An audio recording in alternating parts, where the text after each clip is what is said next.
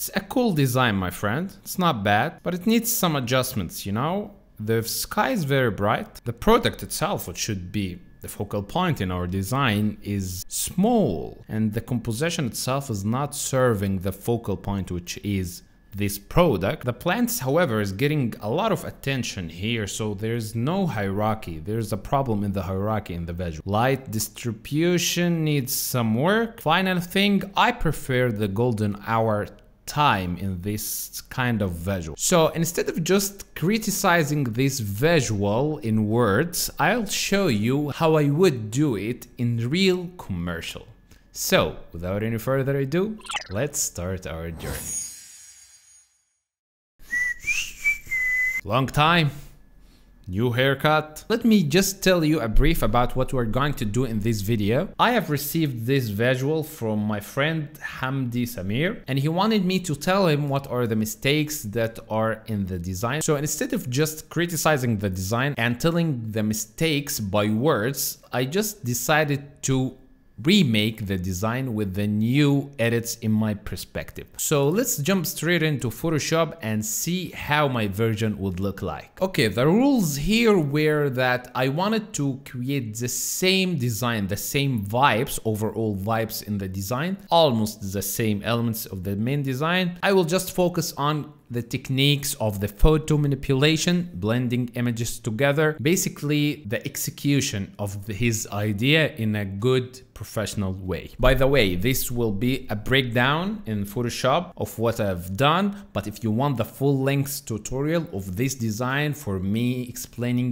every step I took to create this visual, I've created a full length class in addition to other classes for other photo manipulations like this and you will find all this in one course in the link in the description along with the PSD file, the stock images used, the brushes used, fully narrated so don't miss it. So I like to start every design, every visual with the sky or at least the source of light if there is no sky in the visual because the sky gives you the colors and the mode of the overall design okay so I started with this dramatic sky in the sunset scene the golden hour and started to remove this blue color from the sky because it will create contrast and it will grab your attention which I don't want because I would I want the whole attention to be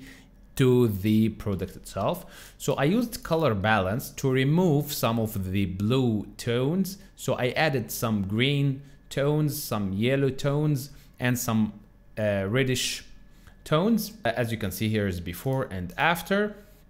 Next thing, I wanted to remove this uh, blue part. So I just created a selective color and selected the blues and removed them. The next element is the horizon mountains, these mountains. So I wanted to create like four mountains because I want the focus to the product itself. In my friend's visual, the plants were so close to the product that I couldn't just neglect it, okay? So in my version, I wanted to create like a four mountains, uh, which will not grab your attention. And then color corrected it using uh, the color balance. Of course, we added a lot of yellow and magenta. And the next thing, as you can see right now, the hazing effect here is very bright. You know why? Because this, the, the main image was in the noon time. So this was the main image. As you can see right now, the sky is very bright. That's why the horizon or the hazing, the atmosphere effect in this part was very bright. So I wanted to decrease the lightness of this part specifically. That's why I chose, as you've already guessed, selective color. Why selective color? Because selective colors enables you to choose specific color and then edit on it. That's what I have already done. I have chosen the whites, which is the highlights of the image and then started to decrease the, its brightness. The next thing I wanted to blend this horizon line in a better way. As you can see right now, the colors here are not the same as this colors. So I started to create uh, like a hazing effect with a normal brush with a normal color. I just picked this color from here and that's it. Here's before, here's after with a soft rounded brush. And when I did so, I noticed that we needed to put the same color in the background also. So I just created a new layer and painted some color with the same color in the background. Here is before and here is after. Before, after. As you can see, when we painted this color, the sky part here in the sun area, it's not bright.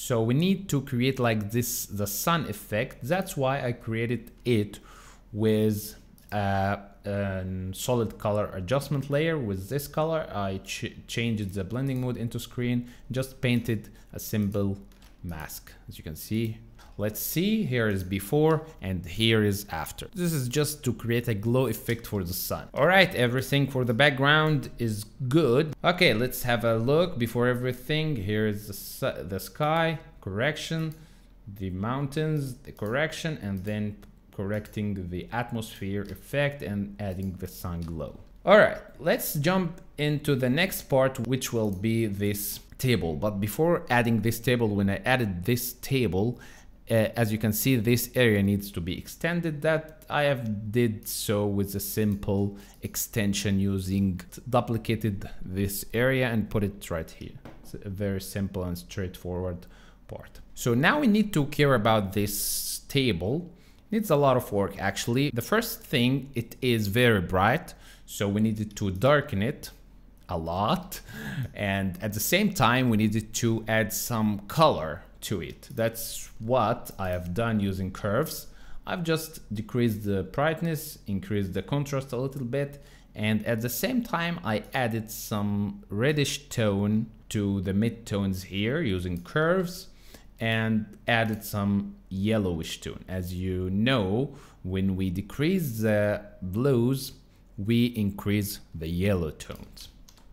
Okay, that's the first thing. Here's before, here is after. Next, I wanted to create like dynamic lighting because obviously the sun is here. So we need to have like some lights here, some shadows in this area. So I've done this using, and uh, this time using hue saturation layer whatever the uh, way you're comfortable with. You can do it with curves, uh, levels, whatever you want. But here I preferred the hue saturation because I wanted this area in which uh, we have lights to be somehow um, bright and at the same time shifted in colors to the yellow because this is golden hour. And I added some shadows here to make it dynamic lighting and some lights here with the same way. But here I've used curves. I've just increased the brightness and painted the lightness here. Okay, now let's care about our product. But before putting our product in this visual, I've noticed that the table and the background somehow close to each other. There is no separation between them. So I started to create this separation by number one, increasing the hazing effect. As you can see, I've done this using curves. Okay. So I've shifted the shadows. I opened up the shadows because I wanted to make this uh, part the mountains to look like it's far away. And as you know, the hazing effect increase with distance. So I opened up the shadows and I shifted its colors towards reddish color and more of somehow magenta color, shifting the colors from the curve. Okay, here's before. It's very contrasty and it looks close and now it looks somehow far away. And next I darken the closer areas here using curve, these areas. Now you can see that this table is kinda splitted or uh, separated from the background.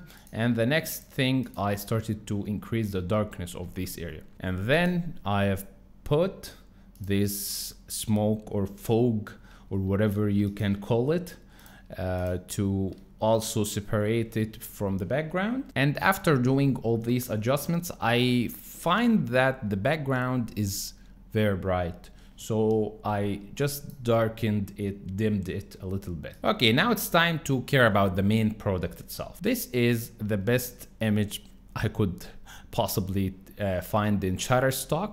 But if you want to create like a commercial visual like this, you need to take photos by yourself because of course we didn't want this out of focus effect here uh, because of the lens choice was wrong. So but anyway this was what in what we can use. So i've used this image and i started to select it but the challenge here was that there are some areas that should be transparent. Uh, you should see the background from through these parts so i started to create two uh, layers or two versions of the layer one of them uh, I put in multiply to only show the dark pixels. Okay, here I chose the blending mode into multiply and the other one into the normal blending one uh, mode, but I started to mask some parts. So the trick here is to erase some parts like this with the soft rounded brush, but if I lift it like this, it doesn't look professional at all. So I created another one and I put it into the background using multiply that this fix it. Of course, this area will not be visible as you can see it right now. So now let's care about blending this product into the environment itself. I started with the shadows. So I created like simple shadow, this one, very simple one, and then started to correct the colors, the luminosity of the product and the saturation. Here we, I want to give you an advice. In commercials like this, you need to show the product. Even if it's not 100% realistic visual, but you need to give attention to the product, okay? Firstly, I have just decreased the values of the lightness, then created some highlights in these areas using selective color. I assume that you know the basics of Photoshop. So you know what is selective color, what's color balance curves and all this stuff. And next I started to paint some rim lights, but soft lights, not visible ones, using uh, color balance as you can see right now. Here, here, as you can see, this part was somehow bluish grayish, but when we added the color balance, it's now ye more yellowish. And next I started to put some shadows in these areas because realistically there will not be a lot of uh, a lot of light here and I started to add some uh, rim again some rim lights using hue saturation and while you are working you will notice the problems in your uh, visual. So for example, after selection, this area needs to be adjusted, doesn't look good, feels off.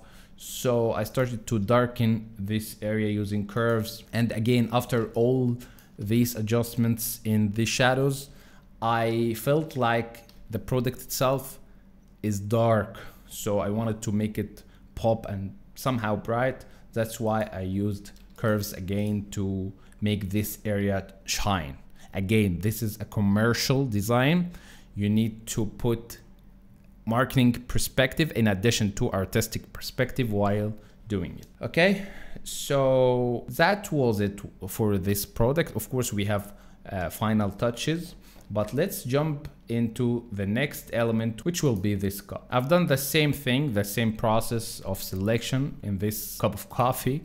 So I started with this uh, normal layer and started to erase some parts as you can see right now here is what I have erased and then using another layer with multiply blending mode I restored some data and uh, if you ask me how I created this transparent effect I have selected the white colors using select and color range I've selected the white colors and then erased it with 50% flow brush, not with 100% flow.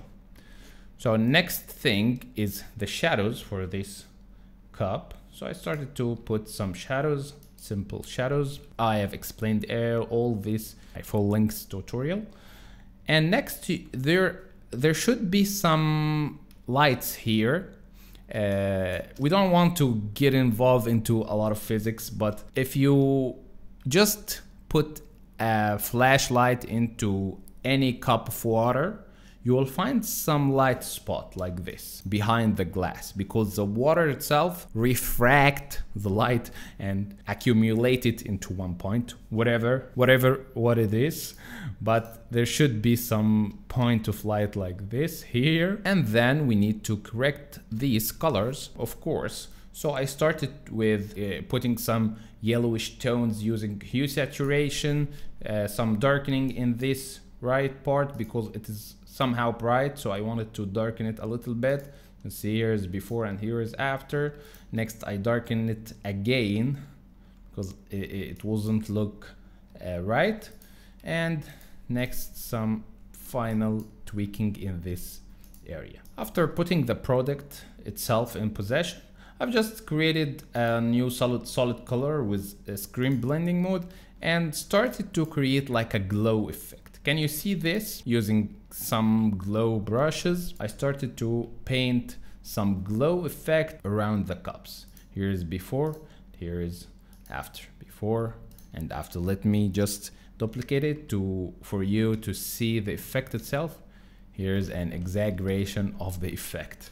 Okay, but we don't want it to be all this light, so we just put some simple touches and one last thing is this smoke overlay. Uh, of course, this adds a lot into the commercials. It, it simply adds flavor to the visual.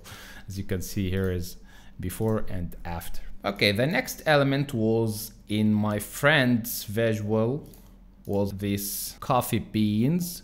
So I wanted to replicate it. I found this image of the coffee beans, cut it with the uh, pen tool and started to blend it in the composite. Started with simple shadows, the contact shadows, and then started to darken it, started to darken these areas, leaving these areas bright, and then corrected the colors. As you can see, this very cyanish green is not realistic in this mode. So I shifted its color and decreased its saturation and then using color balance I added some touches of yellow. And I felt like this area is bright so I darken it again adding some um, rim lights here from the sun. And here we go it's blended. Now all the elements are in possession, but we need to reframe the composition. We need to guide our eyes or the viewer's eye to the product that's why I have put these plants to the left uh, and the same uh, kind of plants to the right. Okay, of course it has some adjustments. Let me show you quickly. Here's the plants layer and I have cut it using channels, I think, or color range. I don't remember actually.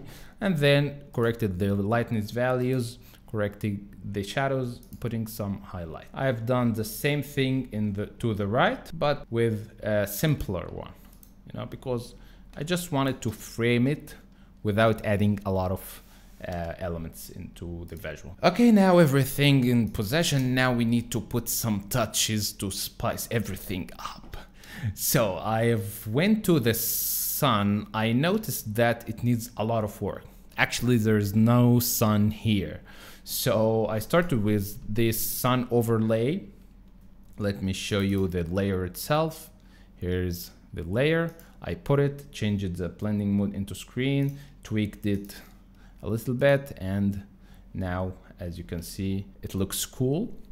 And then I created with a solid color adjustment layer, putting the screen uh, blending mode. I've just created some glow effects okay as you can see here is before and after some simple glow effects let me show you the uh, mask here are the effects it's like glow effect around the focal elements. And next I create, I put this lens flare for the sky. It adds a lot actually. So let me show you. Here is the lens flare overlay. I put it here and put it into screen blending mode.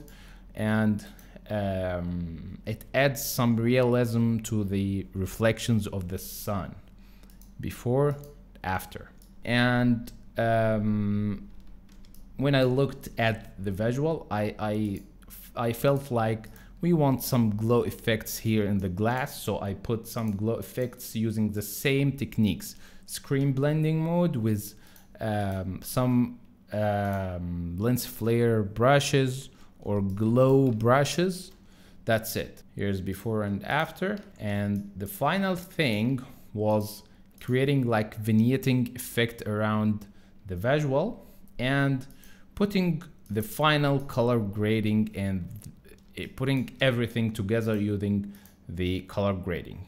Using some adjustment layers, some techniques, creating flares like this, all this I have um, explained every tiny detail in the full version, you will find it. So yeah, uh, it was a long one. Here is before and here is after my edits. If you want to have your design to be reviewed like this in the next episodes, please send it to me in the link in the description and potentially it will be in the next tutorials. All right, guys, thanks for watching and please let me know in the comments what do you think about these episodes. Should we do more of this? And thanks, guys. Peace.